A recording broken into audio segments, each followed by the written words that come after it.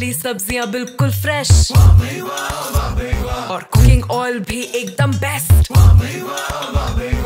डाला सूप पर मसाला और खाना एकदम सेट और नमक?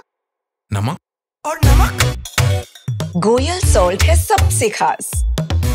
डालो इसे स्वाद अनुसार आयोडीन और एडेड मिनरल्स के साथ।